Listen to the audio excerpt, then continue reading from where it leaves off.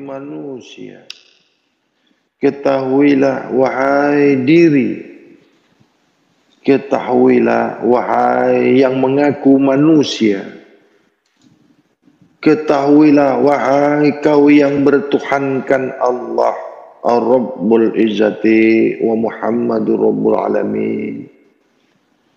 Ketahuilah kau manusia sesiapa diri yang menginginkan kepahaman sesiapa manusia yang mau diberi rahmat dan hidayah daripada Tuhan Rabbul Izzati wa Rabbul Alamin wa Nabi Rahmatan lil Alamin. Sungguh-sungguh Tuhan kamu itu nyata-nyata suci, maha suci. Sungguh-sungguh Tuhan kamu itu dan Tuhanku juga adalah maha suci. Sungguh-sungguh Tuhan kita Maha suci Maka apa-apa yang zahir daripada Maha suci Apa-apa yang ditakdirkan daripada Maha suci. Apa-apa yang dicipta daripada Maha suci.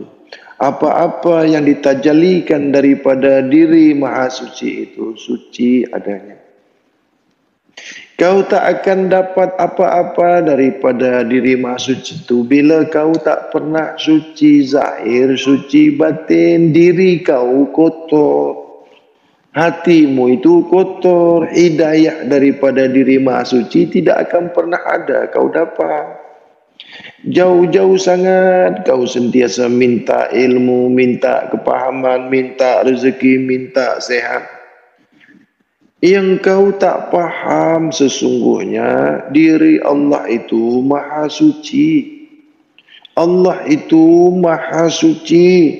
Allah itu maha suci. Boleh kau dapatkan apa-apa dari Tuhanmu yang maha suci itu bila kau sudah suci. Sungguh-sungguh Allah suka kepada diri yang sentiasa mensucikan dirinya. Maksud dirinya itu bukan diri Tuhan. Diri kau itu yang nak kau sucikan. Sungguh-sungguh Allah suka kepada diri yang sentiasa mensucikan dirinya. Diri yang mensucikan dirinya. Maksudnya diri yang nak suci itu. Bukan diri Tuhan yang nak disucikan. Tuhan sudah maha suci. Sudah sentiasa suci.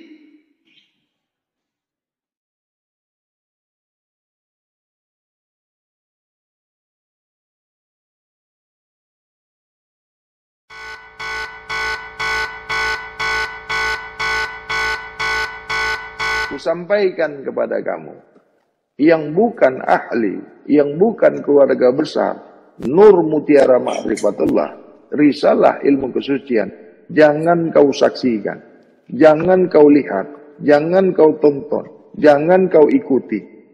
Pengajian bab kesucian ini hanya untuk yang sebenar-benar manusia. Kalau kau belum menjadi manusia sebenar-benar manusia, kau tidak boleh menyaksikan, menonton, mengikuti pengajian ilmu risalah bab kesucian ini. Kenapa aku larang? Kenapa tidak boleh? Nanti kau salah paham. Nanti kau komen yang tidak baik. Kan jadi gaduh. Kan lebih bagus kau tidak melihat, tidak menonton. Internet kau tidak habis, tidak kecoh, tidak gaduh. Kan lebih baik kan? Sudah dilarang kan? Jadi kalau kau lihat juga, itu kau bukan manusia, karena kau tidak mengerti bahasa manusia. Jadi sesiapa yang masih melihat, menonton, menyaksikan, mengikuti pelajaran ilmu bab kesucian, sudah dilarang, masih juga dilihat, masih juga diikuti, bermakna bukan manusia. Paham kau ini?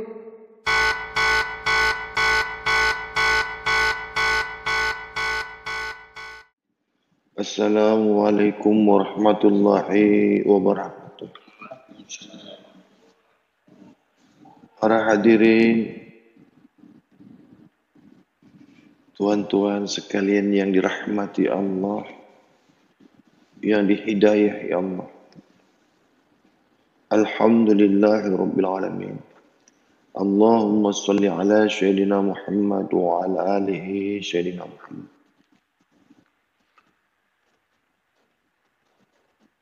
Tuan-tuan yang ada di majlis Nur Mutiara Ma'rifatullah.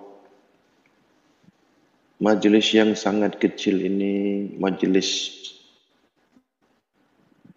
yang tidak dikenal dunia dan tidak meminta dikenal dunia. Majlis yang kecil hadratillah ini, mardatillah ini, ala ilmu Allah. Tidak minta dikenalkan dan tidak minta mengenalkan diri.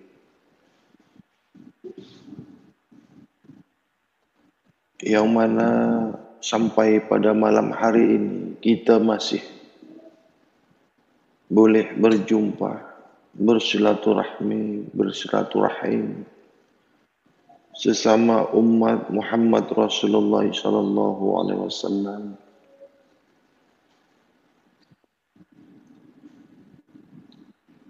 Hendaklah sesiapa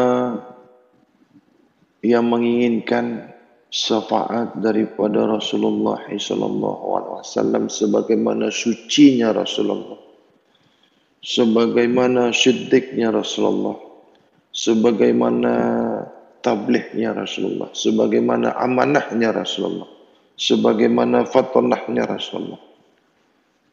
Maka kita yang bersyahadat,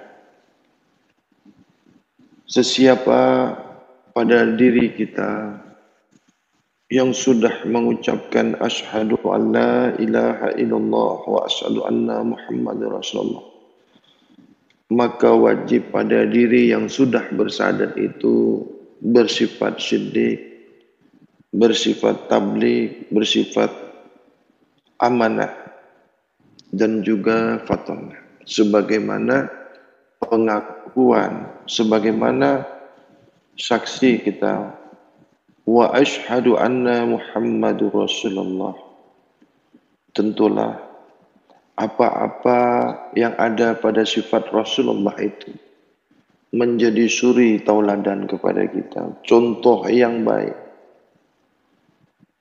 Huswatun hasanah kepada diri kita. Apa-apa yang ada pada Rasulullah, ada apa-apa yang ada pada Nabi Muhammad Rasulullah sallallahu alaihi wasallam. Sebagaimana yang sudah kita ucapkan, yang kita sebut mengucapkan dua kalimat syahadat. Ashadu an la ilaha illallah wa ashadu anna Muhammadur Rasulullah. Wa ashadu anna Muhammadur Rasulullah. Maka wujudlah, nyatalah sifat-sifat daripada Rasulullah itu contoh suri tauladan huswatul hasanah itu kepada diri kita. Tentunya sebagaimana Rasulullah mengajarkan kita, tunjuk ajar kita sentiasa suci, sentiasa mensucikan diri. Sungguh-sungguh Allah suka, Allah sayang, Allah kenal kepada diri yang sentiasa mensucikan diri. Begitu juga aku di sini tak bosan-bosannya, tak habis-habisnya, tak sudah-sudahnya. Menyampaikan.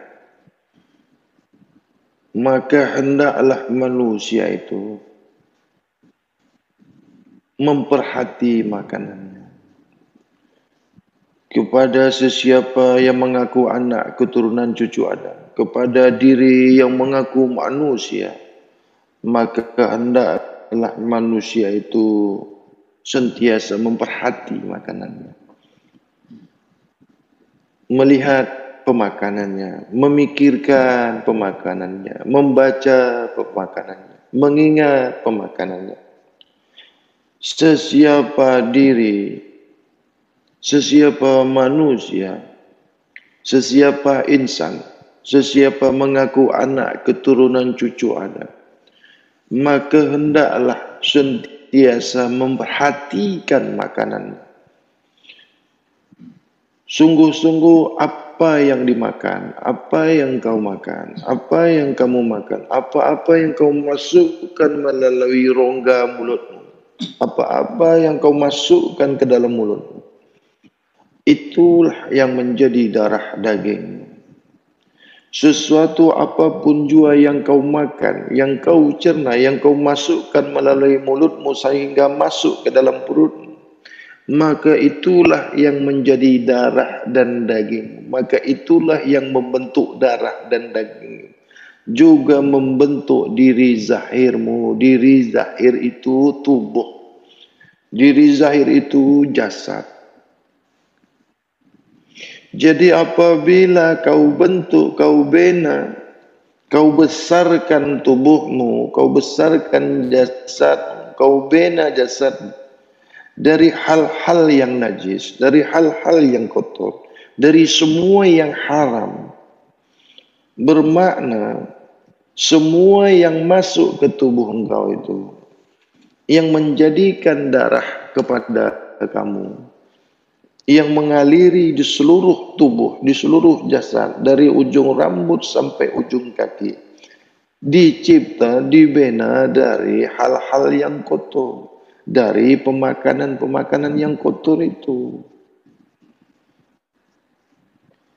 Jadi apabila darah dibentuk, dibina dari hal yang kotor, dari hal yang negatif, dari hal yang najis, dari hal yang busuk, dari hal yang kotor, dari hal yang haram, maka darah kamu itu kotor, busuk, haram juga. Itulah yang menyebabkan diri kamu itu menjangkit, terjangkiti penyakit.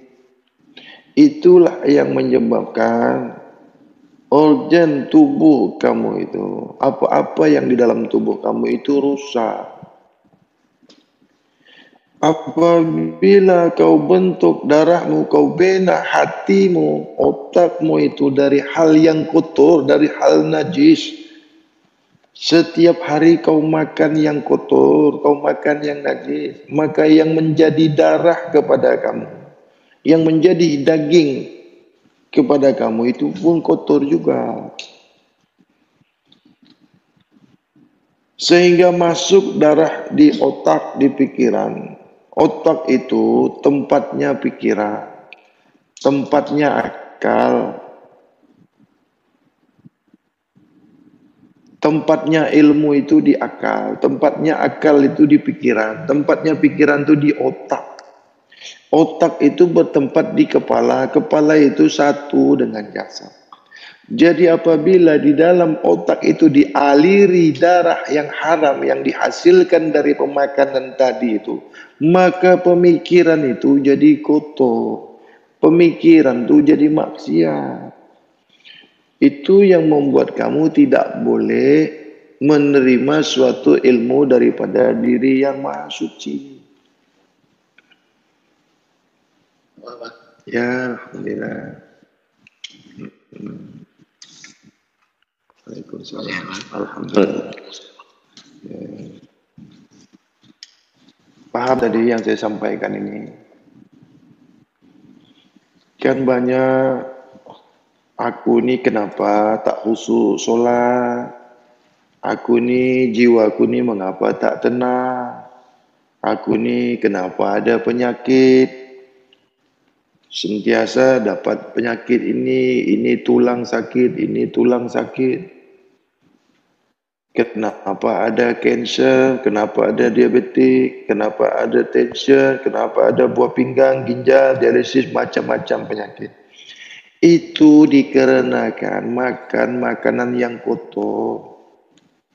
Penyakit itu daripada makan yang kotor penyakit yang ada di diri kamu itu, di badan kamu itu, kerana kau makan yang kotor. Apa makanan yang kotor tu sentiasa banyak yang bertanya. Makan yang kotor tu bukan hanya makan tai, bukan hanya makan najis. Sehingga bodohnya manusia ni ter- bertanya lagi apa itu makanan yang kotor. Tengok. Sehingga aku cakap apa makan yang kau makan yang kotor tu masih ditanya lagi. Apa yang makan yang kotor tu? Tengok. Sehingga makanan yang kotor pun tak kalau ditanyanya, apa itu makanan yang kotor Bang Hadi? Itu kan dah, macam mana aku nak jawabnya? Manusia tak tahu makanan yang kotor. Itu kan rendah sangat.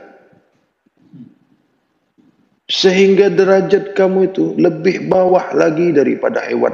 Apabila kau tanyakan, makanan yang kotor itu macam mana? Sama dengan hewan kalau dah tak tahu apa itu makanan yang kotor. Sungguh-sungguh rugilah kamu. Bila kau tak tahu mana makanan yang kotor dan mana makanan yang bersih. Rendah sangat derajat kita itu apabila sampai-sampai kita ni tak faham mana makanan yang kotor. Terlebih-lebih lagi kita tidak faham, tidak tahu mana makanan yang halal, mana pula makanan yang haram. Rendah sangat kita tu. Sia-sia hidup kita yang kita ni tak faham pasal makan. Hal keadaan makan saja tidak faham kita. Cubalah fikirkan. Inilah kajian mula-mula sekali, azaz sekali dalam bab kesucian. Banyak yang bertanya, Bang Hadi, apa itu bab kesucian? Apa itu ilmu kesucian? Bagaimana kita ni nak belajar ilmu kesucian? Mula-mula sekali, kenali diri kita sendiri azas daripada awal bab kesucian itu suci dalam pemakanan bersih dalam pemakanan betul dalam pemakanan baik dalam pemakanan halal dalam pemakanan. Ini ilmu kesucian bab kesucian.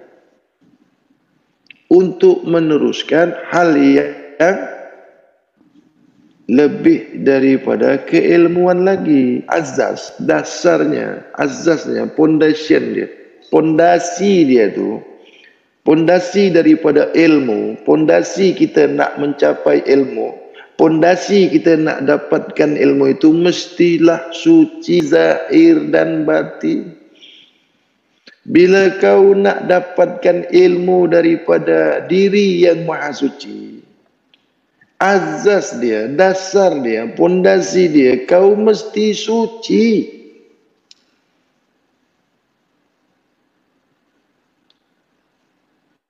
Banyak yang nak ilmu daripada diri maha suci. Banyak manusia yang menginginkan ilmu daripada Allah, diri yang maha suci. Allah Maha Suci itu dia tak pernah nak suci.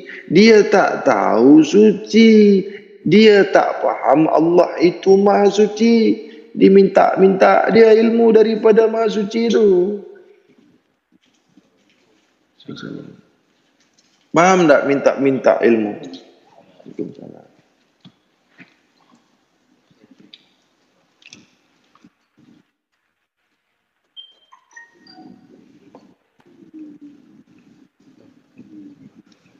Ya.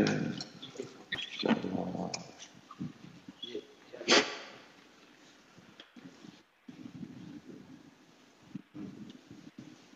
InsyaAllah. Ya. Ah, duduk ramai-ramai situ sekali. Ya, yeah. Sakri. Assalamualaikum. Waalaikumsalam.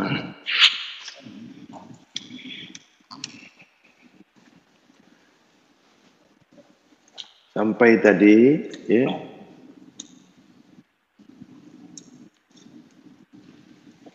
Ah, ramai situ ya. Boleh masuk. Sampai mana tadi? Ilmu daripada Maha Suci. Ya. Ketahuilah, pahamilah. Wahai anak cucu Adam. Wahai manusia. Ketahuilah, wahai diri Ketahuilah wahai yang mengaku manusia Ketahuilah wahai kau yang bertuhankan Allah Ar-Rabbul Izzati wa Muhammadur Rabbul Alamin. Ketahuilah kau manusia Sesiapa diri yang menginginkan kepahaman Sesiapa manusia yang mau diberi rahmat dan hidayah daripada Tuhan Rabbul Izzati wa Rabbul Alamin wa Nabi rahmatan lil alamin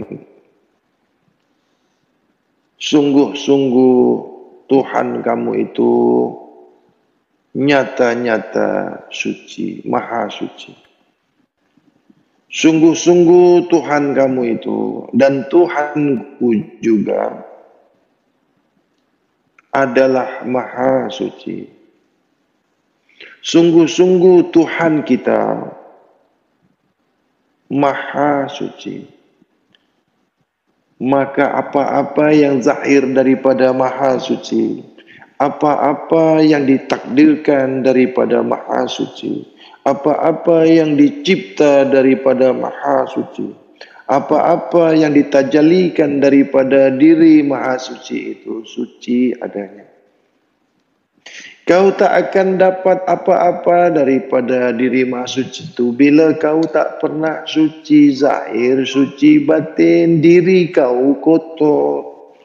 Hatimu itu kotor. Hidayah daripada diri suci tidak akan pernah ada kau dapat.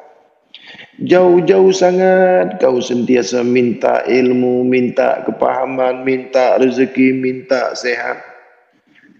Yang kau tak paham sesungguhnya diri Allah itu maha suci. Allah itu maha suci. Allah itu maha suci. Boleh kau dapatkan apa-apa dari Tuhanmu yang maha suci itu bila kau sudah suci. Sungguh-sungguh Allah suka kepada diri yang sentiasa mensucikan dirinya. Maksud dirinya itu bukan diri Tuhan. Diri kau itu yang nak kau sucikan. Sungguh-sungguh Allah suka kepada diri yang sentiasa mensucikan dirinya. Diri yang mensucikan dirinya. Maksudnya diri yang nak suci itu. Bukan diri Tuhan yang nak disucikan. Tuhan sudah maha suci, sudah sentiasa suci.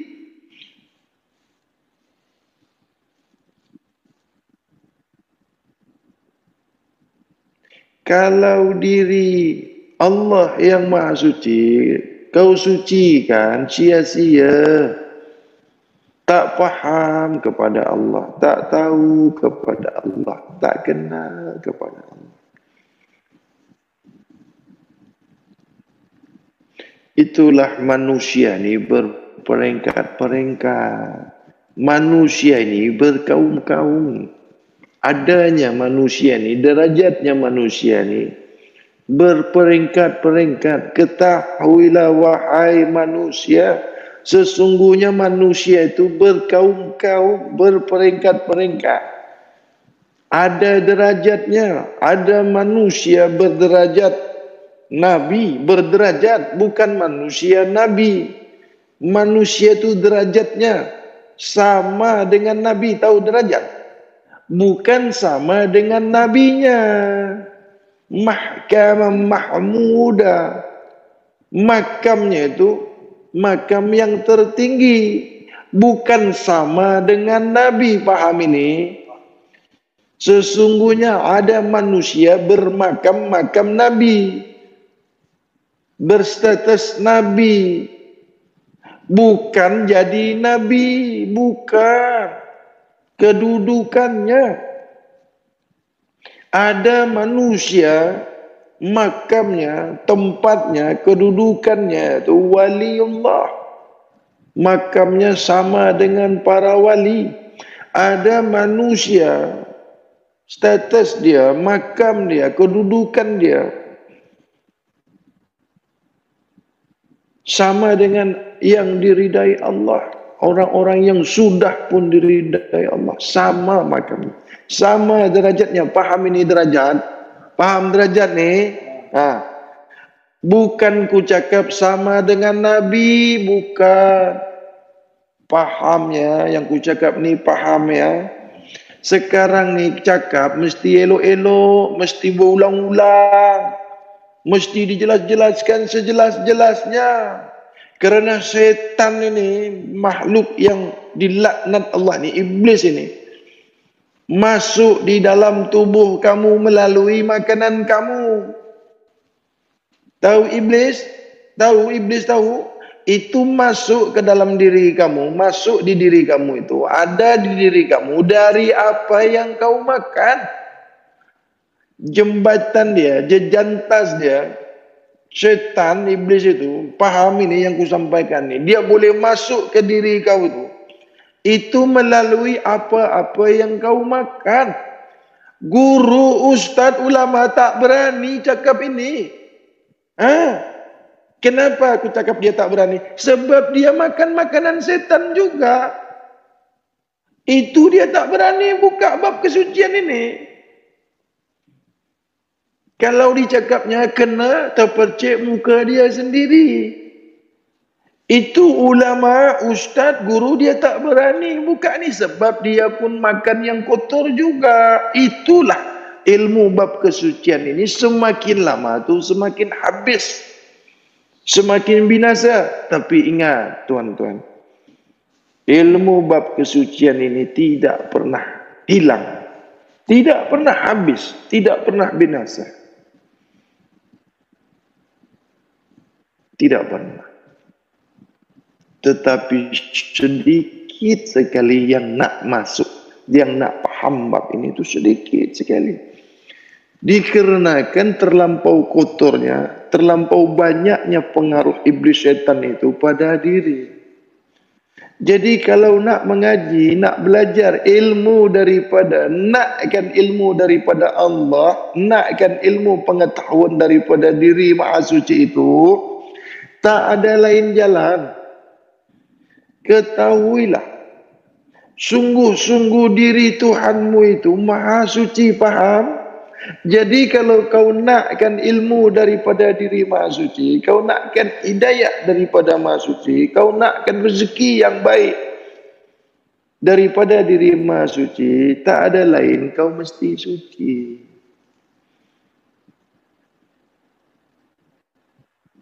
Kau mesti faham, yakin seyakin-yakinnya, hakul yakin, ketahuilah. Sungguh-sungguh Tuhan itu Allah Asma'ul Rabb.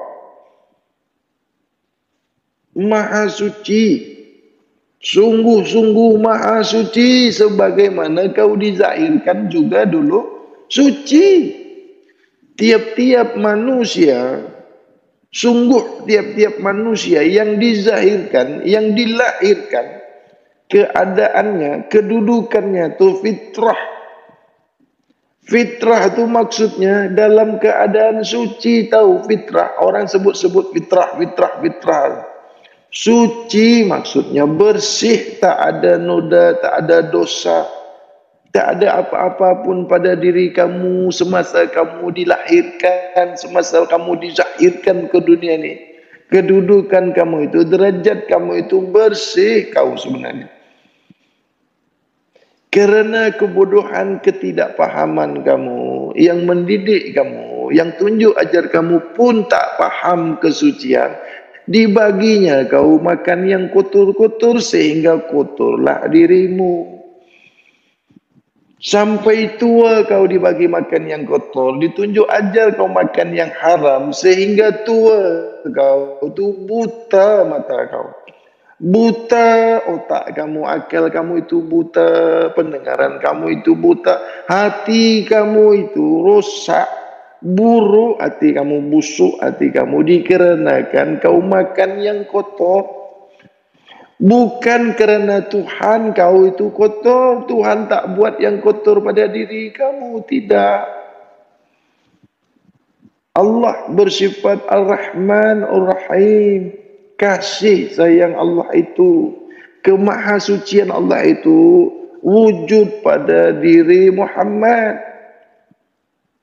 Kasih sayang diri yang maha suci itu nyata pada diri Muhammad. Hakul yakin. Zahir pada diri Muhammad. Maka sifat zat diri Muhammad itu nyata senyata-nyatanya pada diri rahasia Adam. Ingat yang ku cakap ni kepada diri rahasia Adam. Bukan jatuh nyata kepada Adam. Beza itu. Paham ini? Asma, af'al, sifat, zat, diri Muhammad bukan zat Muhammad. Paham? Yang ku sampai ni, yang ku sampaikan ni, yang ku sebut ni, bukan zat Muhammad. Nanti telinga kau salah dengar sebab telinga kau kotor. Aku ulang ya. Asma, af'al, sifat, zat diri Muhammad. Bukan af'al, sifat zat Muhammad bukan banyak kali aku sampaikan banyak kali aku sebutkan tapi bila aku tengok di grup tu masih salah juga masih bercelaru juga zahirnya kepada diri rahasia Adam kalau zahir kepada Adam, jadi Muhammad lah Adam ini. Itu salah. Paham salah? Ha.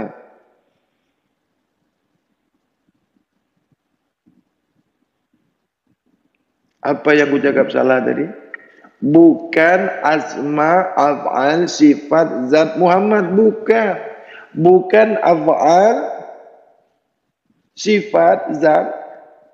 Atau bukan asma af'al sifat zat Allah itu yang zahir kepada Muhammad. Bukan juga. Tidak boleh Tuhan itu bersifat. Tidak boleh Tuhan itu berasma. Tidak boleh Tuhan itu berzat tak boleh. Kenapa?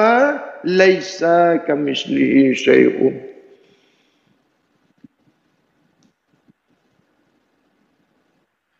Paham Laisa, paham? Bukan sesuatu. Kalau bukan sesuatu, mana boleh berasma? Yang berasma itu sesuatu. Laisa itu tidak berafal, yang berafal itu sesuatu, yang berafal itu makhluk, yang berafal itu nyata yang berafal itu manusia. Tuhan itu tiada bersifat kerana dia laisha. Yang bersifat itu makhluk, yang bersifat itu sifatnya nyata, yang bersifat yang bersifat itu muhaddas, tubuh kasar, kenyataan. Jadi tidak ada asma Allah itu zahir kepada Muhammad. Tak begitu belajarnya. Salah itu.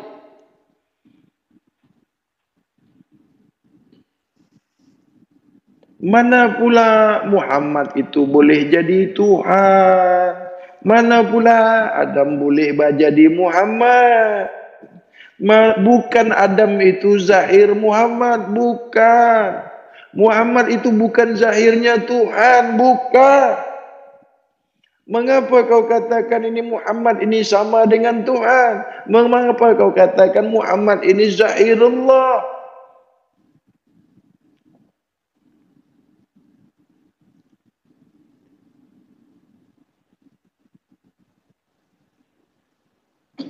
Apabila kau katakan Muhammad Zahirullah, batinullah, kau sudah paham sebenar-benar. Paham kedudukan kajian itu. Yang kau sebutkan itu kau mesti faham. Kalau kau katakan Muhammad itu berasma Tuhan maknanya Muhammad itu Tuhan lah. Kalau kau katakan Muhammad itu af'al Tuhan maka Muhammad itu tu Tuhan sudah syirik Tuhan tidak zahir kepada Muhammad Tuhan tidak zahir kepada Adam. Tak. Kenapa? Kenapa tu? Adam ini sesuatu. Adam ini makhluk. Adam ini manusia. Adam ini dinyatakan Tuhan. Adam ini diadakan Tuhan. Adam ini dizahirkan Tuhan. Adam ini ditajalikan daripada diri Muhammad itu pun adanya diri rahsia Adam melalui diri rahsia Adam dulu bukan terus pergi ke Adam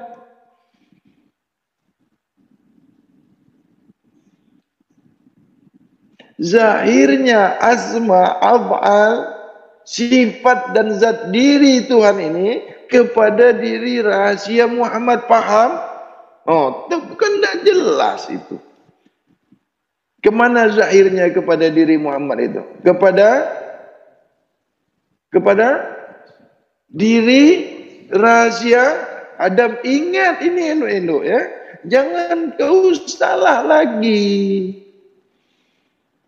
Tak pernah zahir Tuhan kepada kau dah syirik. Tidak pernah ada Tuhan zahir di diri kamu walau di zahir, walau di batin, walau di diri rahsia kau tak ada. Tuhan tak zahir di diri rahsia kamu.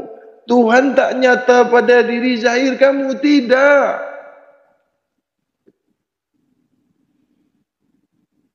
Kenapa tidak boleh zahir? Bukan sesuatu. Bukan sesuatu. Mana boleh zahir pada diri muhaddas kamu? Mana boleh nyata pada diri zahir kamu? Sebab Tuhan bukan sesuatu. Faham bukan sesuatu. Tak boleh zahir. Kau ini manusia. Kau ini muhaddas. Adam. Wahai Adam, kau ini manusia. Tubuh kau ini baharu. Jasad kau ini baharu. Wahai Adam, tahu kau, faham kau?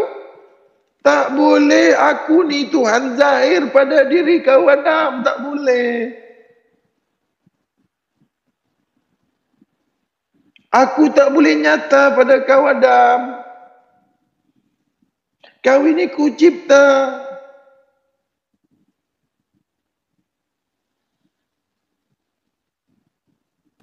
Banyak yang salah bercakap kerana tak faham. salah kedudukan diri Adam ini tak masuk. Bercanggah bertelagah kepada diri Muhammad. Aku ni Muhammad aku ni Muhammad akulah Muhammad Ya Allah ya Rasulullah mengapa pula kau Adam mengaku kau Muhammad Jibril mana yang datang kepada kau? Bila kau Isra Mi'raj? Bila kau mendapat wahyu? Adam. Mengapa kau katakan kau Muhammad? Mengapa kau mengaku kau Muhammad? Lagi-lagi ada yang mengaku diri Allah pula lagi.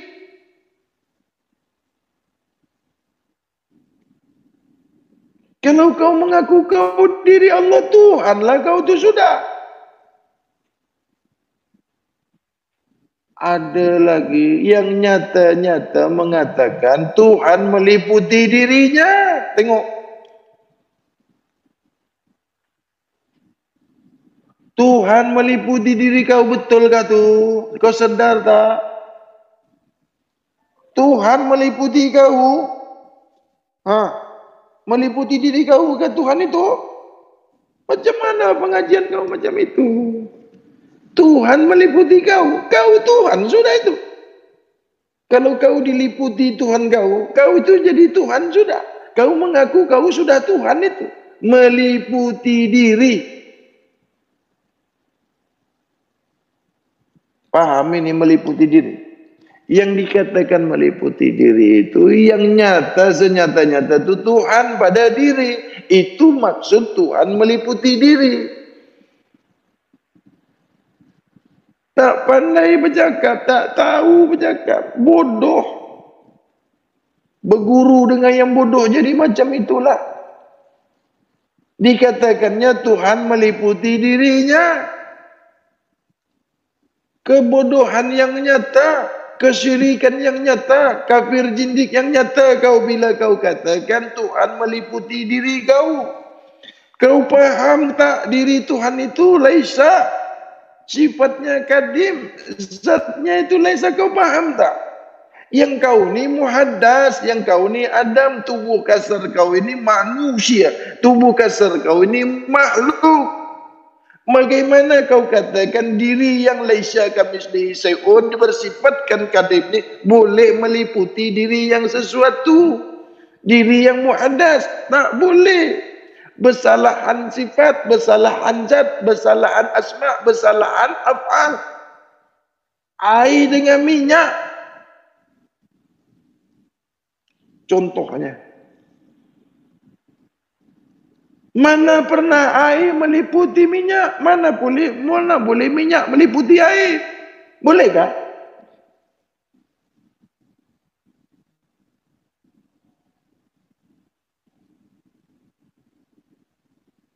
Sungguh-sungguh banyak pengajian-pengajian marifat ini berkaedah macam itu. Sungguh-sungguh banyak tarekat-tarekat berkaedah, berpendapat, bermaksud, bermakna diri. Dirinya itu, diri muhaddasnya itu, tubuh kasar yang pandai berak itu, yang boleh makan, yang bernafsu, yang kotor itu, diliputi diri maha suci. Kau ini kotor najis kau makan berkahwin kau penuh najis diri kau tu penuh najis. Mengapa kau katakan Tuhan yang Maha Suci meliputi diri kau yang banyak najis tu? Guru mana yang mengajarkan kau macam itu?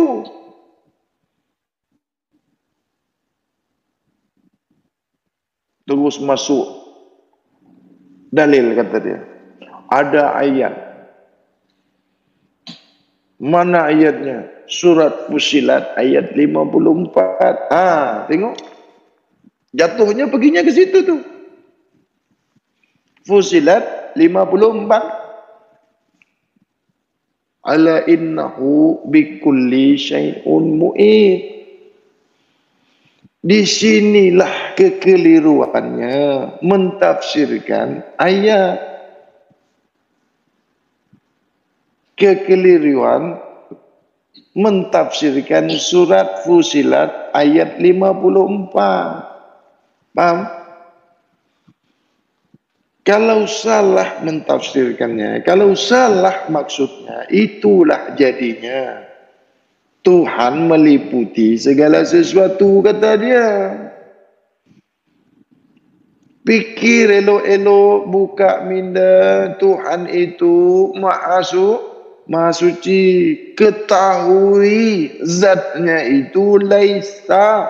Kalau kau katakan Tuhan meliputi sesuatu bermakna yang laisa itu yang bukan sesuatu itu meliputi sesuatu. Jadi sesu jadi bukan sesuatu pula semua apabila diri Tuhan atau Tuhan itu yang zatnya itu laisa, sifatnya kadim, meliputi segala sesuatu, semuanya jadi Tuhan lah jadi. Sebab makna meliputi itu, yang diliputi itu sehingga tiada. Meliputi, yang diliputi oleh yang meliputi ini, sehingga yang diliputi ini tiada. Yang nampak, yang nyata itu yang meliputi. Yang diliputi ini sehingga tiada. Itu maksud meliputi. Paham ini?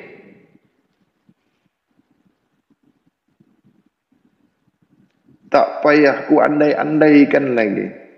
Meliputi itu yang diliputi oleh yang meliputi yang meliputi kepada yang diliputi ini sehingga yang diliputi ini tiada sehingga nyata senyata-nyatanya yang meliputi ini kepada yang diliputi. Oh, tengok. Susah kau nak ambil paham ini dengan bahasa yang macam ini. Sebab kotor. Kau suka makan yang kotor.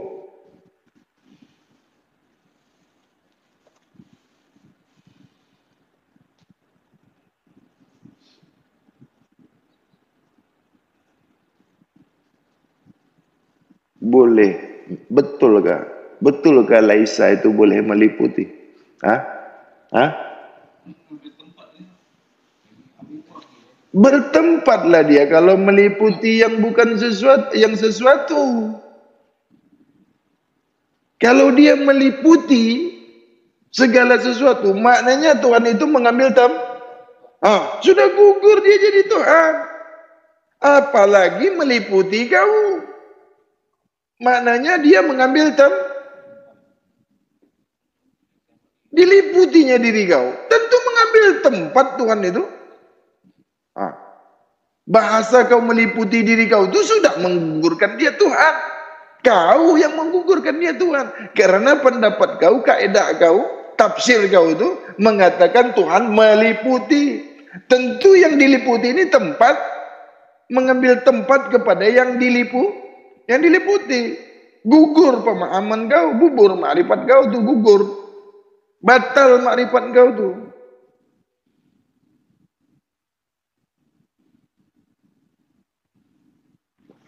ini ini ya ini meliputi ini ya ini ini yang meliputi ini yang nak dili diliputi kalau ini meliputi ini ini dah tiada yang nyata ini itu maksud meliputi sehingga yang diliputi itu tiada Jadi kalau kau diliputi Tuhan, kau tu tak ada. Ini banyak yang berpendapat-pendapat macam ini. Ada tu gurunya tu.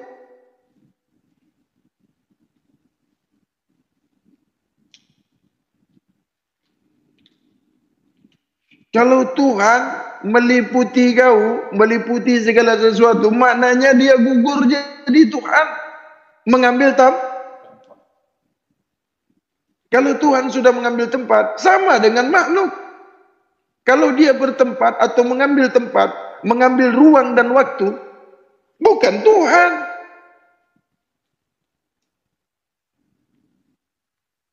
Sama lah dengan makhluk.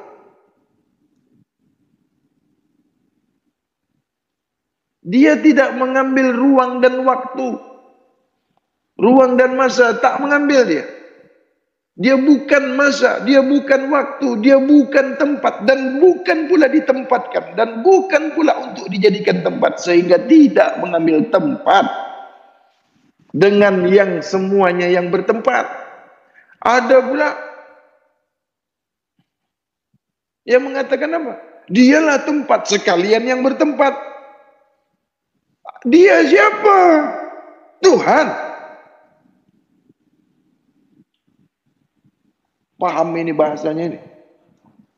Tuhan tidak mengambil ruang dan waktu. Tidak mengambil ruang dan waktu. Tidak memerlukan ruang dan waktu. Itu makhluk. Itu sesuatu. Nak diletakkan dia. Ada tempatnya dia. Dia bertempat. Dia berwujud bagaimana tempat itu. Apabila dia mengambil tempat, maka dia itu tempat juga. Bertempat di makhluk. Makhluklah dia. Wujud di makhluk. Makhluklah dia. Nyata di makhluk. Makhluklah dia. Jangan kau nyatakan Tuhan pada makhluk. Jangan kau nyatakan dia pada sesuatu.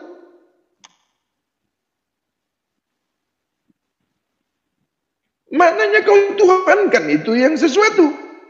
Apabila kau nyatakan laisa itu kepada sesuatu. Paham ini? Paham? Bila kau nyatakan sesuatu itu bagaikan Tuhan. Bila kau nyatakan Tuhan itu pada sesuatu. Itu sama kedudukannya. Yang sesuatu mengaku bukan sesuatu. Yang sesuatu merasa dirinya bukan sesuatu. Itu sama kau nak jadi Tuhan syirik.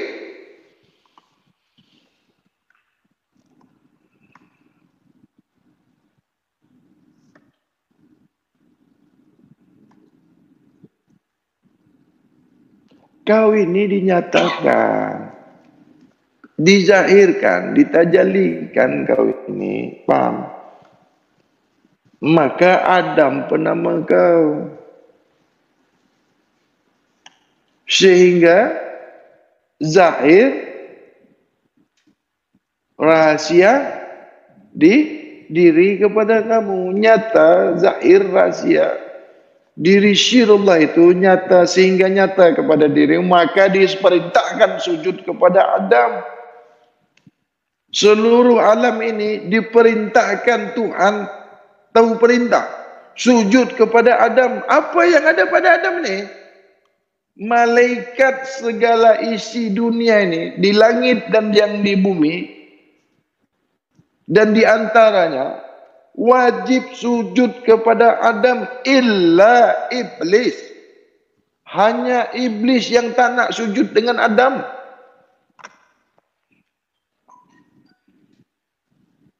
Apa yang ada pada Adam ini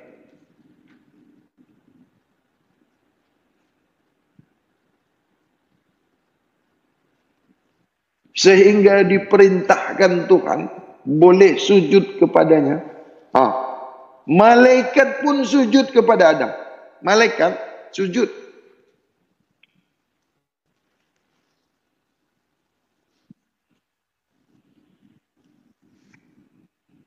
Apa yang ada pada Adam? Sujud itu mesti kepada Tuhan tak? Ha? Hanya boleh sujud kepada tu kepada kepada Tuhan kepada Allah. Ini kepada Adam pula perintah sujudnya.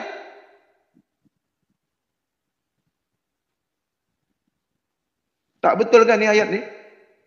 Ha? Salah ke ayat ni? Mengapa sampai ada perintah seluruh alam malaikat, haiwan, pokok-pokok, semua batu ke air ke. Itu makanya air ni boleh dibuat ubat.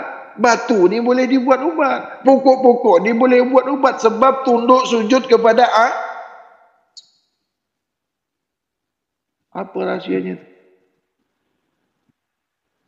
Ini semua nak jadi ubat.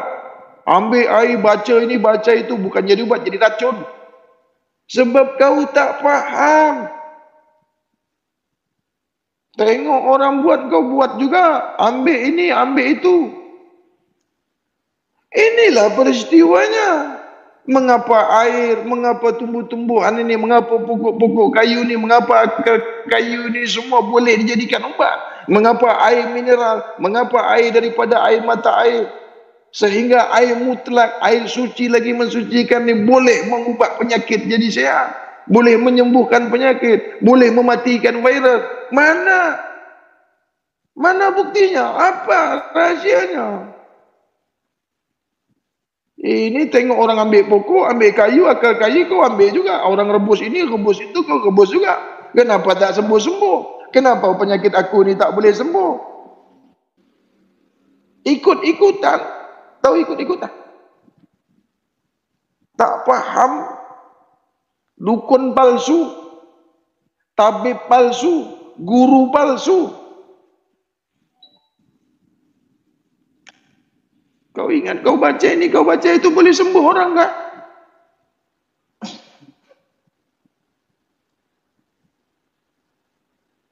Ini peristiwa fasada juz fasad apa? Fasada juz fasada jasad itu berbeza, bukan? Maksud ayat tu di surat Al-Baqarah tu. Fasaja Faja Fasaja Fasaja tu kepada kepada Adam bukan kepada yang bernama Adam. Nanti kalau tak pula nama anak kau Adam, bukan. Asma itu tidak berupaya apa-apa. Asma itu tidak ada kuasa. Asma tiada kuasa. Tak punya kuasa apa-apa. Kau baca pun asma itu, kau baca sejuta berjuta-juta kali asma itu, nama itu. Sebab itu bukan Tuhan. Asma, sebutan, kau tulis di mana-mana, kau buat di mana-mana itu tak buat apa-apa benda, tak mendatangkan faedah apa-apa.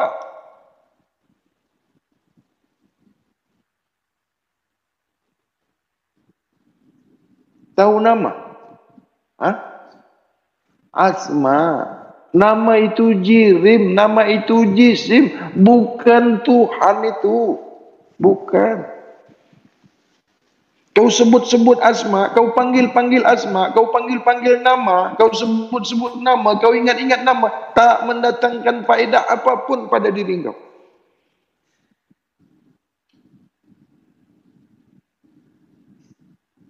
Macam kau ingat bini kau lah, panggillah bini kau tu nama bini kau panggil. Kalau datang bini kau, ku sembayangkan kau. Cubalah panggil bini kau di rumah. Jangan kau pegang pun eh. Nanti panggil bini pakai telefon pula. Kalau boleh datang bini kau, ha? boleh buat sekarang. Ku sembayangkan kau terus. Sebab kau sudah melampaui Tuhan. Kenapa? Boleh Tuhan yang memanggil nama, datang yang punya nama. Itu pekerjaan Tuhan.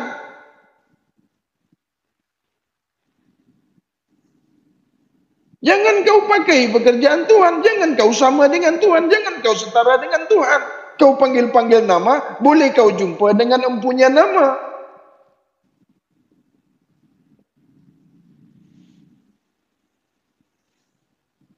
Tu makanya makhluk manusia ni tidak akan boleh berjumpa apabila yang dipanggil tu hanya nama. Itu hal keadaan Tuhan. Thank you.